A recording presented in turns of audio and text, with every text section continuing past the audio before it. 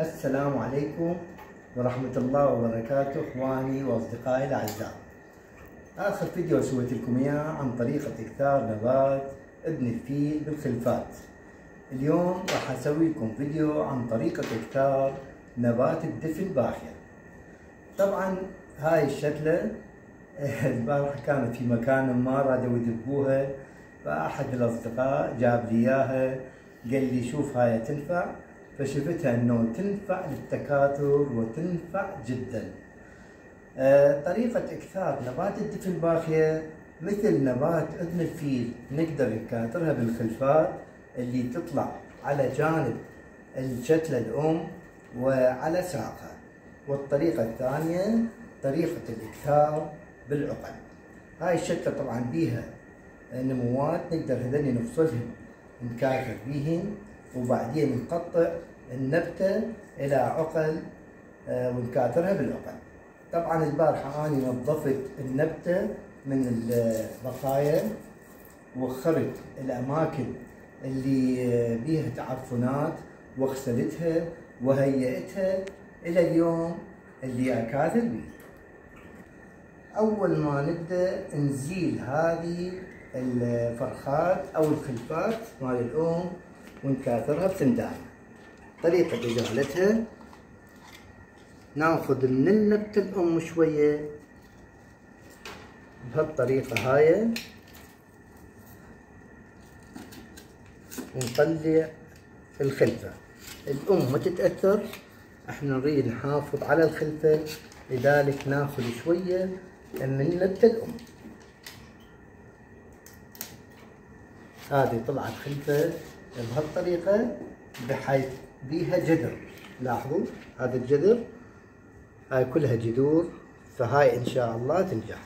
هاي الخلفة الثانية بيها جذور أيضا نزيلها بنفس الطريقة.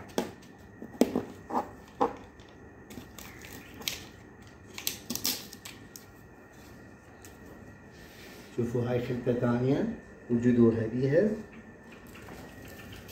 هاي الخطة الثالثة شوفوا هاي طبعا صاير بيها تعفن. غسلتها آني ودرت عليها مبيد فطري البارحة. واليوم بطريقة اكتارها نزيلها وناخذ من الأم أيضا شوية. حتى نسبة نجاحها تصير أعلى. هاي الخلفة الثالثة. نجي على هاي نبتة الأم شلون نكاثرها هاي المنطقة اللي بيها جذور نحاول نقطعها نقطعها نخلي بس هاي العقلة دي هاي عقلة عقلتين نقطعها من هنا حتى هذا تصير شفرة. طبعا هاي شفرة صغيرة نجيب سكينة حادة ونقطعها. هاي قلنا البرعم وهاي جذور نقطعها منها.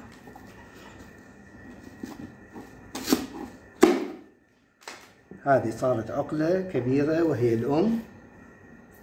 هاي عندنا عقلة. هاي عقلتين نقطعها منا بحيث ما نأثر على هاي العقلة ونحافظ على هاي العقلة. فنقطعها بهالطريقة هاي.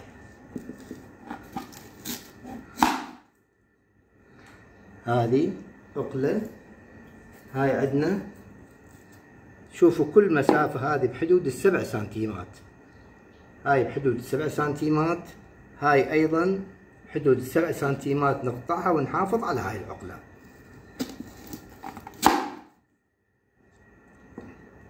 اتجاهها حتى ما تيها وضعت خليتها بهالطريقة هذه أيضا بيها هاي عقلة وهاي عقلة. طبعا إحنا نقدر نقطعها هنا عقلة واحدة بس لضمان نجاحها نعطيها عقلتين نطولها شوية.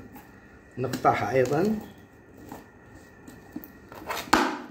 بهالطريقة هاي نقلبها حتى منتهي الأعلى من الأسفل مالتها. هذه أيضا نوخر هاي الأوساخ. هاي بيها عقلة. هاي عقلة ثانية. نقطعها من هنا.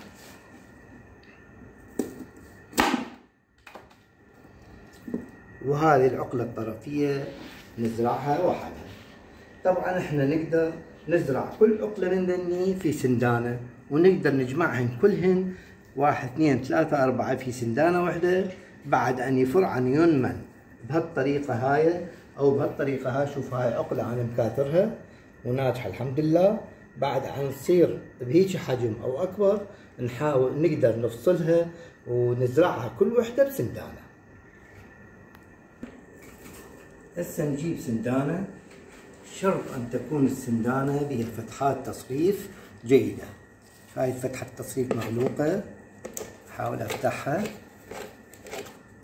هسه كلهن مفتوحات.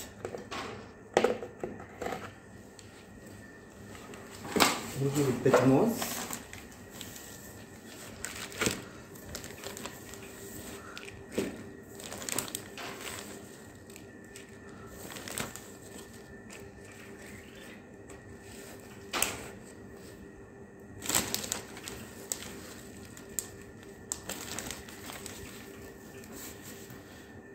نجيب هاي العقل اللي قطعناها.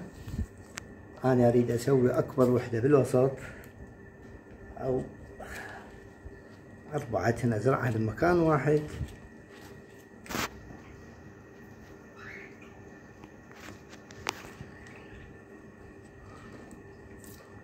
ومن من يطلع عن أوراق نقدر نفصلهن ونحطهن كل سندانة بواحد.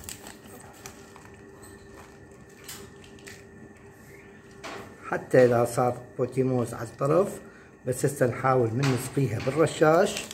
راح يوقع هذا البتموس وتطلع وجه العقلة. هاي زرعناها. هذه السندانة نزرع بيها هاي العقلة.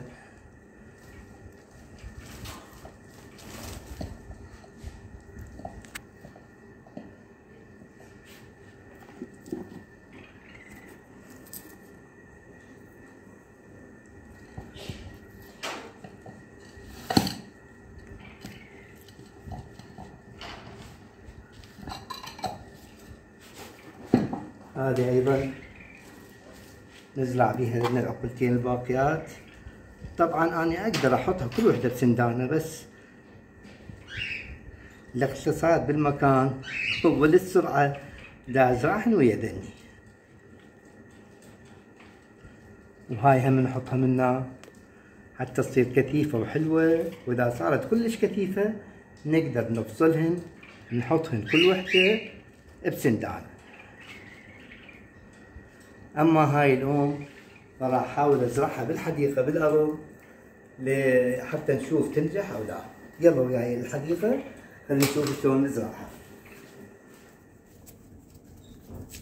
راح أزرعها بهذا المكان.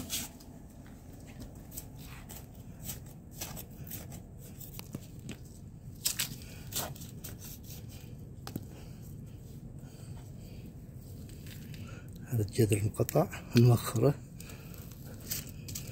نغمق لها أكثر لأنه بها جذور. حتى أخ هذا منقطع بس ما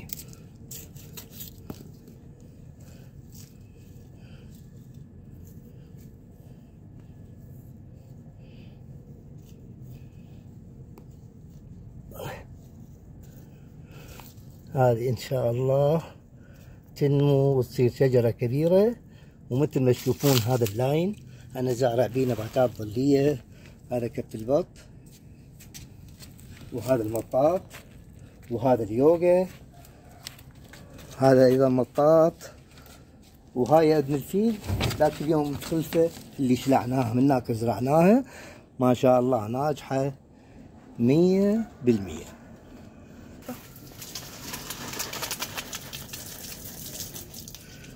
نسقيها بهالطريقة. ونروح نسقي العقل والشتلات اللي زرعناها بالسناديب هسه بعد نكمل زراعتهن نسقيهن بالرشاش بهالطريقة هاي. أفضل طريقة لسقي النباتات الظلية الداخلية هي السقي بالرشاش خصوصا في أول وقت زراعتها. هذه شوفوا من غطيناهن. هم سقيناهن. هم طلعنا الوجه مال العقلة.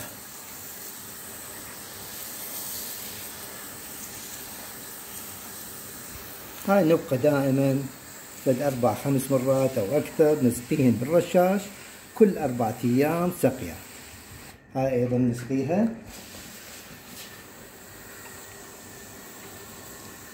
طبعا ملاحظة مهمة إنه طريقة اكثار الدفن باخية بالشتاء ما يصير لأن الدفن باخية تتأثر بالبرد. وكذلك عند ارتفاع درجة الحرارة هم نبتعد عن التكاثر. أحسن وقت لاكثار نبات الدفن باخية ومعظم النباتات هو في موسم أو فصل الربيع والخريف. إحنا الآن في شهر العاشر يعني الجو معتدل وفصل الخريف لذلك إن شاء الله تنجح اكثار هذه النباتات. أهم نقطة أهم نقطة لازم ننتبه لها وهي سبب رئيسي لموت النباتات الظلية هي غلق أو انسداد فتحات التصريف الداخلية. طبعا هسه راح أراويكم أنا هذول السمادين كلهم متابعين دائما. لازم كل شهرين نقلب السندانة نشوف فتحة التصريف هو ما صار بيها انسداد أو تكلسات فاذا صاير تكلسات أو انسداد لازم نفتحها أنا هذول كلهم ملاحظين بس عندي سندانه واحدة شاك بيها انه صاير انسداد بفتحة التصريف مالتها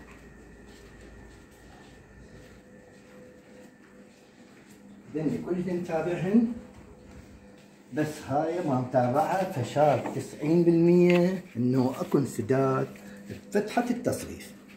والله صحيح وشكي بمحله شوفوا هذا التكلس الصاير. هذا لازم كله نزيله حتى يتصرف. الماي الزايد وما يصير تعفن هذا اللي دازيله سبب رئيسي لانسداد السندانة وتصريف الماي الزايد وسبب رئيسي لتعفن النبات وموته. ختاما تقبلوا تحياتي مع حبي وتقديري أخوكم خالد الخياط. في أمان الله.